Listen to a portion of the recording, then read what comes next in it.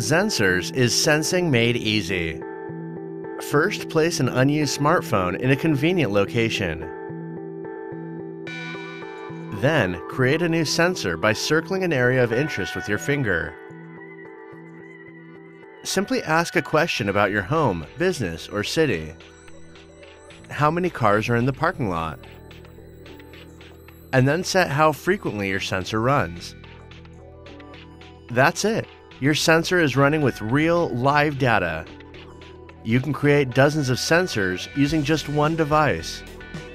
In addition to counting, you can also ask yes or no questions, scales, and multiple choice. You can also use your existing Wi Fi cameras with our web service. Once sensor feeds are active, you can easily create alerts.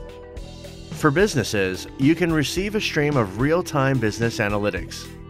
And for developers, our API lets you build rich and responsive, sensor driven applications.